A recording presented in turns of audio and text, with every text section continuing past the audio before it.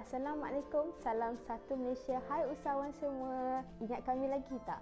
Pembekal misi makanan pilihan anda. Okey, kali ini saya nak share sedikit jenis-jenis blender yang kami bekalkan. Kebanyakan usahawan yang menggunakan misi ini adalah usahawan restoran, usahawan jual nasi lemak dan usahawan catering.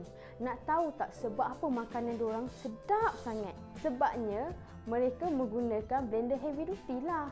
So, saya akan share sedikit tentang jenis-jenis blender heavy duty yang digunakan untuk blend bahan-bahan masakan. Stay tune ya. Syarikat kami membekalkan beberapa jenis blender heavy duty iaitu blender BL09, blender BL13, MPF 15, blender Taiwan dan blender heavy duty 2 liter. Untuk blender heavy duty yang pertama, blender BL09. Blender BL09 dengan kapasiti ni 10 liter boleh masukkan dalam 7 hingga ke 8 kilo bawang untuk sekali kisar. Dan korang boleh kupas, tak perlu nak potong, hanya masukkan sebiji demi sebiji ke dalam blender. Untuk cili pun sama juga tau. Blender ini mempunyai motor di tepi mesin. Di bahagian dalamnya mempunyai empat bilah mata pengisar yang sangat tajam dan mampu menghancurkan menghancurkan bahan-bahan yang kita hendak kisar. Satu lagi function blender ini ialah ia mempunyai batang penarik untuk mengeluarkan bahan-bahan yang telah dikisar. Ia hanya perlu pegang dan tuangkan ke dalam bekas. Kalau anda mahukan bahan lagi lumat, better biarkan bahan kisar lama sedikit. Kita biarkan dikisar lama sedikit.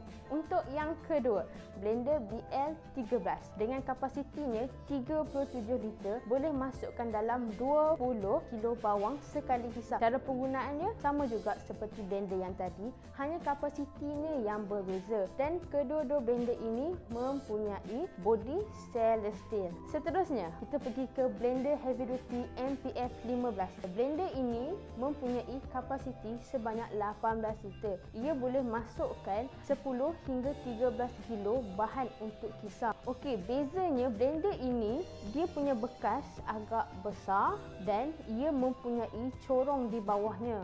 Sebab apa ada corong kat bawah tu? Sebab dia untuk memudahkan pengeluaran bahan yang telah dikisar. So, selepas kisar, kita hanya bukakan pipe corong di bawah tu untuk mengeluarkan dia punya bahan-bahan yang dikisar. Mudahkan blender ni? Okey, Next blender Blender Taiwan. Okey, blender Taiwan mempunyai dua jenis kapasiti ya. Dia ada yang 8 liter dan dia ada yang 20 liter. Okey, blender ini made in Taiwan. Okey. So, blender ini memang the best lah bila digunakan. Ia juga mampu blend tanpa menggunakan air. Tapi, kalau dah nama pun jenis blender, mesti dah kena masukkan sedikit air. Walaupun sedikit, tetap kena masukkan untuk mengisar bahan-bahan mentah. Okey, so blender ini mempunyai tempat pemegang di belakangnya untuk memudahkan kita tuangkan bahan-bahan yang telah dikisar ke dalam bekas. So, The last one is blender heavy duty 2 liter. Okey, blender heavy duty 2 liter kapasitinya pun 2 liter. Tetapi blender ini mampu mengisar bahan-bahan seperti bawang, cili, lengkuas dan lain-lain lagi lah bahan-bahan mentah yang kita nak kisar. Tetapi blender ini bukan sahaja boleh kisar bahan-bahan mentah ya, ia juga mampu kisar ais untuk jadikan smoothie. Contohnya kalau macam anda nak buat smoothie buah-buah lah, So bolehlah kita campurkan buah-buahan Ini kita campurkan air Kita buat sedikit air Dan kita blend lah Jadilah smoothie Okey, jangan risau kepada semua usahawan yang memerlukan blender untuk kapasiti yang sedikit.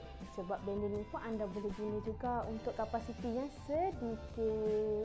Okey, setiap blender heavy duty mempunyai pelbagai kapasiti yang berbeza tetapi pulang kepada usahawan untuk memilih kapasiti yang mana bersesuaian dengan pemprosesan bahan dan juga kapasiti yang digunakan untuk sekali proses. Okey, so terpulanglah kalau anda nak blender PL09, anda boleh pilih PL09. Kalau anda nak blender 2 liter, anda boleh pilih blender 2 liter. Jika anda berminat dan ingin mengetahui cara pembeliannya, anda boleh hubungi kami di link WhatsApp yang tertera di description ni ataupun layari laman web rasmi kami kedaimishinmakanan.com and pilih mesin yang anda mahukan dan masukkan ke dalam troli ya.